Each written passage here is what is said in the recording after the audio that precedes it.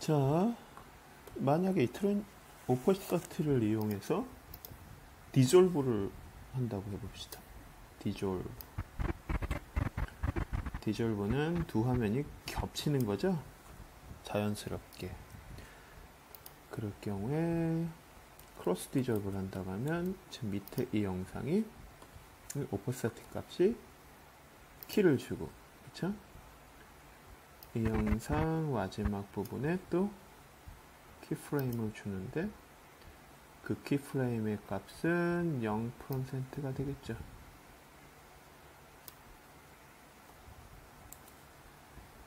음, 이 클립의 마지막 부분은 키프레임을 주는데 키프레임이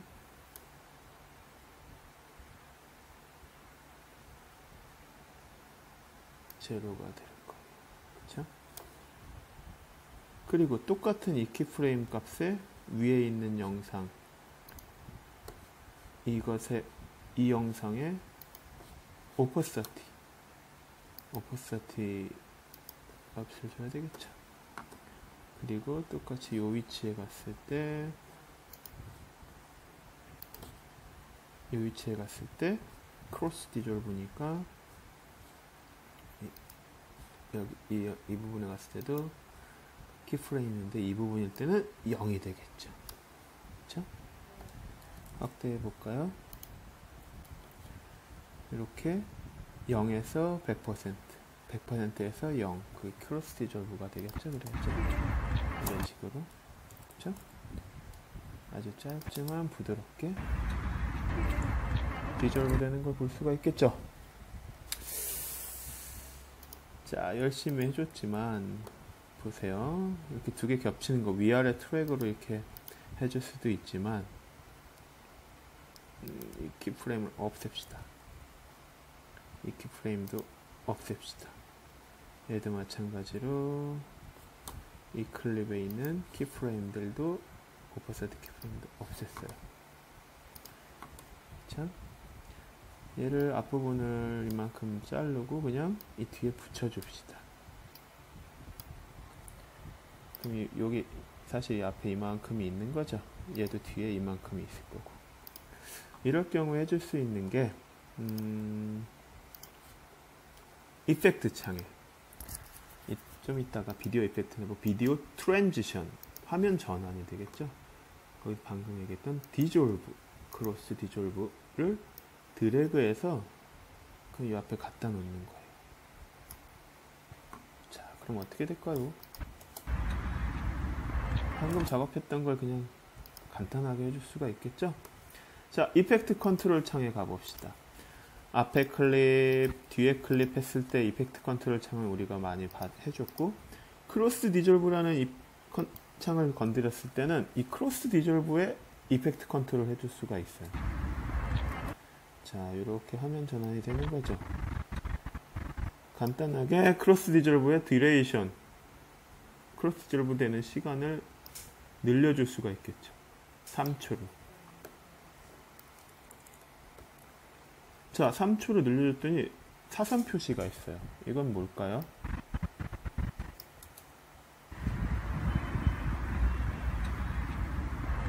자, 보니까 지금 앞에 물고기들이 스틸로 있다가 움직이는 부분들이 있어요. 그 부분들이 사선인 건데, 여기서 뭘 알 수 있냐면, 이 앞에 영상 자체가 요만큼밖에 더 없는 거예요. 잘라준 부분이. 존재하지가 않는 부분을 트랜스, cross dissolve를 해주고 있네요. 그쵸? 너무 어렵나요, 지금? 음...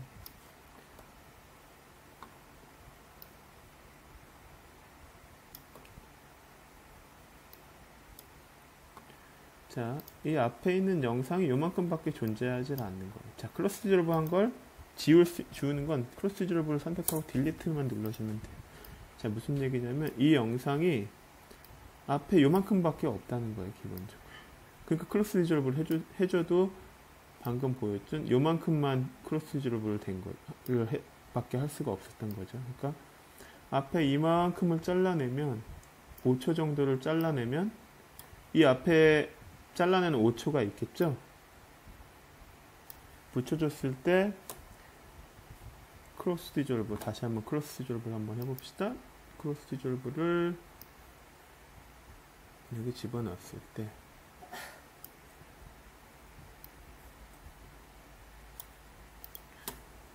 cross dissolve를 이렇게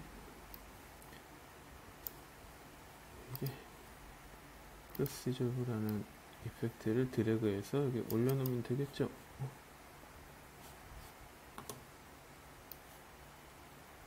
그쵸? 자,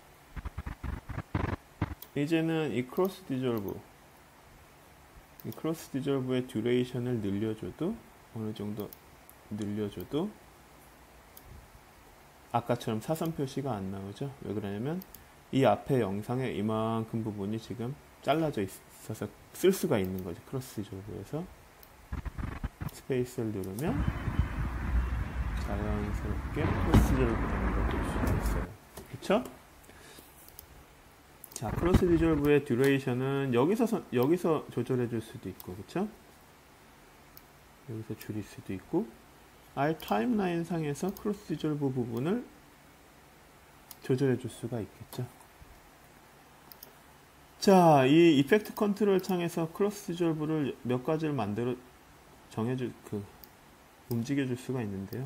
여기서 cross dissolve에 방금 해줬던 cross dissolve를 언제부터 얼만큼을 해줄 것인지를 조절해 줄 수도 있고 모든 데서 다 해줄 수 있어요. timeline에서 해줄 수 있고 effect control 창에서도 해줄 수가 있고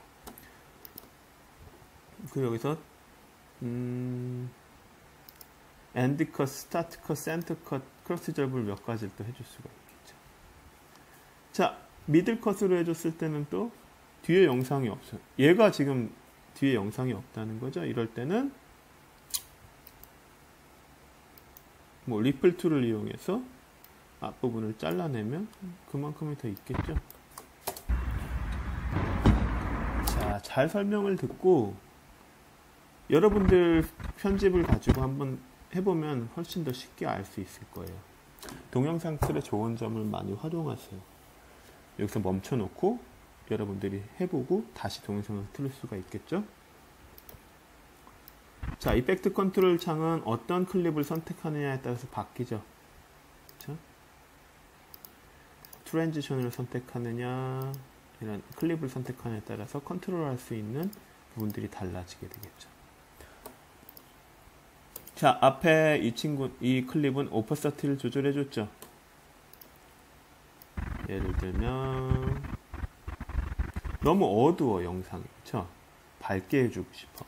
근데 이 effect에는 모션, 포지션, 스케일 이런 것들만 있지, 다른 요소들이 없죠? 그죠? 스케일이나 포지션. effect가 모션이랑 opacity 밖에 없어요. 자, 닫으면은 좀 주- 편하게 볼 수 있겠죠? 자, 그렇기 때문에 추가해 줄 수가 있어요. effect 창에서 한번 볼까요? video effect를 확장해 보면 adjustment, 뭐 keyframe, distort 여러 가지가 있어요. 그렇죠? stylize, stylize를 열어보면 예를 들면 쉽게 있는 게 모자이크. 모자이크를 얘한테 드래그해서 갖다 놓으면 어떻게 될까요? effect control 창 가보니까 모자이크가 생겼어요. 그쵸? 호리젠탈 가로 세로가 10칸씩 돼 있으니까 10개의 모자이크가 있겠죠. 이걸 마- 개수를 많이 해주면 개수가 많은 모자이크가 되겠네. 모자이크 모양이 되겠네. 그쵸?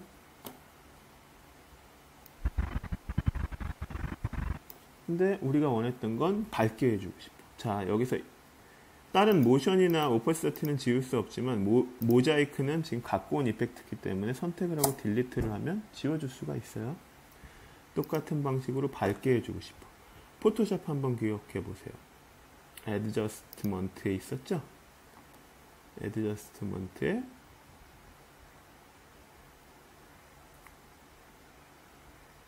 뭐 레벨 값이나 extract, write effect를 써, 써주면 되겠지만 color correction 한번 열어볼까요? 여기 갔더니 brightness and contrast, color balance 우리가 포토샵에서 많이 썼던 커브도 여기 있겠죠? 네? 커브 없나? 여기 커브, 커브, 루마 커브, RGB 커브들이 있어요. 근데 일단 쉽게 brightness and contrast를 한번 effect를 적용시켜 볼게요. 그랬더니 effect control 창에 brightness and contrast가 생기고 brightness를 올려주면 전체적으로 밝게 해줄 수가 있겠죠. 여기 FX toggle 키를 누르면 적용이 되고 안 되고를 확실히 한꺼, 한 번에 볼 수가 있어요. 그럼 처음 영상보다는 훨씬 밝아진 걸 볼 수가 있겠죠? 물론 이 brightness contrast도 옆에 스톱워치 모양 있죠? toggle animation 키 이걸 보면 뭘 알 수 있어요? 그렇죠. keyframe을 줄 수가 있겠죠. 다른 effect를 한번 적용시켜 볼까요?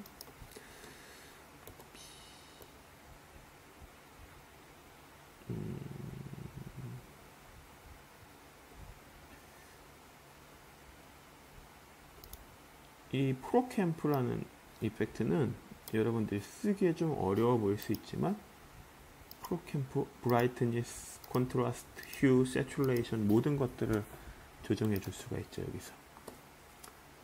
밝게도 해주고 contrast를 좀 강하게 해주고. 색 보정을 기본적으로 해줄 수가 있겠죠? 너무 밝다 그쵸? 그리고 saturation 채도를 좀 높여줄 수도 있겠죠 좀더 색감 있는 영상을 만들어 줄 수가 있을 거예요. 그쵸?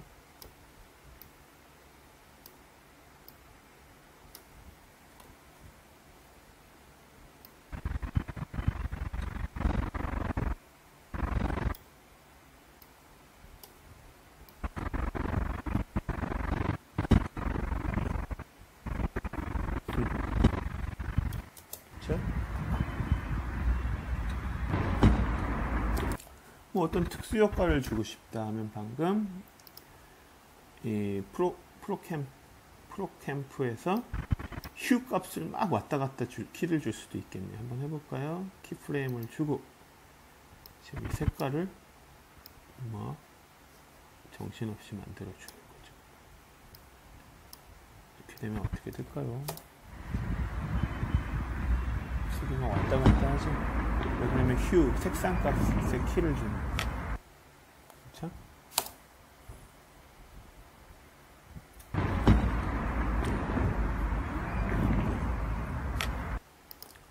자, 이렇게 만약에 이렇게 오늘의 수업이 끝나게 되면 여러분들이 해줘야 될 건 자, 여기 엄청나게 많은 video effect들을 다 한번 써보고 그렇죠? 그리고 video transition도 써봐야 되겠죠. 지금 이 cross dissolve만 있는 게 아니겠죠? 예를 들면 음, iris iris가 뭐예요?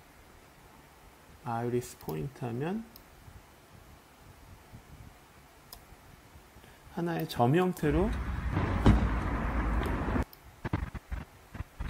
이렇게 아 이거 지금 iris point니까 이렇게 크로스 모양으로 화면 전환이 되네요. 그쵸? iris round 하면 뭘까요?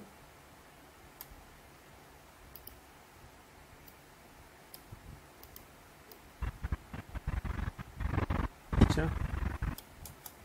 라운드 원 형태로 이렇게 화면 전환이 돼요. 그쵸? 물론 이 effect control 창에서 이 원 형태를 에 대한 설정 값을 조절해 줄 수가 있겠죠. 예를 들면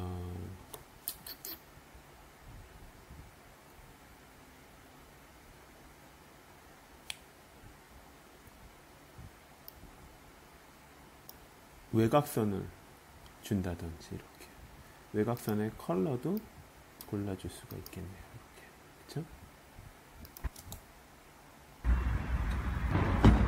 몇 가지 설정들을 또 여기서 조절해 줄 수가 있네요. 그쵸? 다른 것도 한, 한 가지만 더 해볼까요? 오늘? 이펙트 창에 음, 뒤에 있는 부분에 대해서 한번 이펙트를 줘볼까요? 음, video effect. 뭐가 있을까? emboss. 볼록볼록하게 보이는 emboss 효과를 주면 emboss 휴지 같은 효과. 물론 이 emboss에 대한 effect control 창에서 조절해 줄 수가 있겠죠 이걸 보면서 엠보스의 이 튀어나오는 정도도 조절해 줄 수가 있을 거예요. 방향도 조절해 줄 수가 있을 거예요. 아주 이상한 효과가 나네요.